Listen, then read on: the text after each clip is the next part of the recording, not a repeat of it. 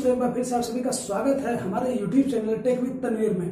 दोस्तों, आज हम आपको एक्सेल के अंदर बताएँगे कि कैसे हम लोग नंबर को रोमन अंक में कन्वर्ट करते हैं और या एक्सेल के अंदर रोमन अंक कैसे लिखते हैं। आप प्रयास करिएगा, ऐसे डायरेक्ट ही नहीं टाइप हो पाता है। तो चलिए दोस्तों, हम चलते हैं अपने लैपटॉप पे और देखते हैं कि कैसे हम लोग रोमन अंक में टाइप करते हैं या नंबर को रोमन अंक में ट्रांसलेट करते हैं। दोस्तों, मैं एक बार आपसे बोलना चाहूँगा कि अगर आप हमारे चैनल पर नए हैं, हमारे वीडियोज़ को पहली बार देखा तो हमारे चैनल को सब्सक्राइब करें और घंटिया वाले आइकन को दबाना ना भूलें, ताकि जब भी नए वीडियो आए तो सबसे पहले नोटिफिकेशन आपको मिले। सीट ओपन हुई है और आप यहाँ पे देख रहे हैं कि मैंने यहाँ पे नंबर लिखा हुआ है और नंबर को मैं रोमन अंक में ट्रांसलेट किया हुआ है।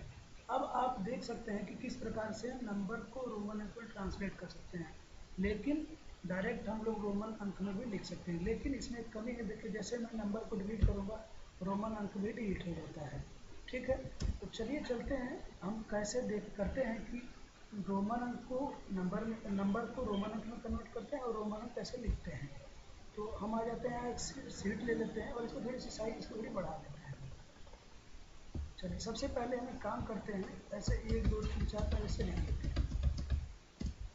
लिखने के बाद अब हम क्या काम करेंगे? इक्वल टू साइन लगाएँगे और यहाँ पे हम रोमन टाइप करेंगे। टाइप करने के बाद पुस्तक लगाएँगे और ये नंबर मांग रहा है, इस नंबर पे क्लिक कर देंगे पुस्तक लगाएँगे इंटर प्रेस करेंगे।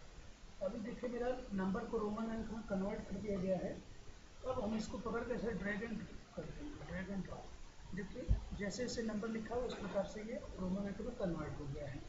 अब बात आती है कि हम रोमन अंक में कैसे लिखेंगे? चलिए एक और सीट ले लेते हैं। जहाँ पर भी आपको चाहिए कि हम रोमन अंक में लिखना चाह रहे हैं, सबसे पहला पॉइंट है इक्वल टू साइन लगाएँगे, यहाँ पर रोमन टाइप करेंगे।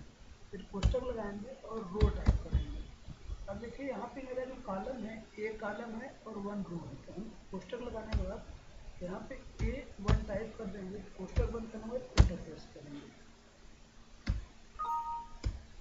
और जैसे इंटरप्रेस करेंगे, देखिए हमारा रोमन अंक आ गया अब काम करिए, इसको बस पकड़ कर से ड्रैग करके चले जाइए। आपका रोमन अंक टाइप होता चला जाएगा। ये देख रहे हैं आप।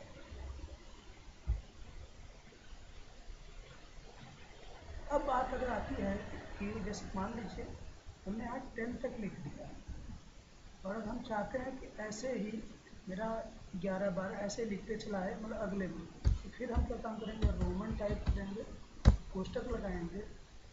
कोष्टक लगाने के बाद फिर हम यहाँ पे रो टाइप करेंगे कोष्टक लगाएँगे। अब यहाँ पे जो मैं लिख रहा हूँ, ये है बी वन तो बी वन कोष्टक बंद प्लस लगाएँगे और टेन लिख लेंगे नंबर में, अंकों में। तो कोष्टक बंद इंटरप्रेस करेंगे। देखिए इलेवन आ गया, फिर इसको पकड़ के हम फिर से ध्यान